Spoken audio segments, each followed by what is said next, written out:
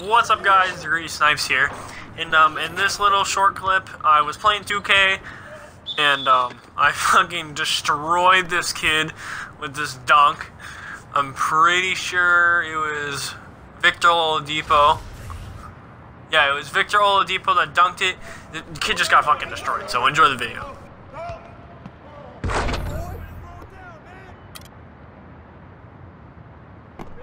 Oh,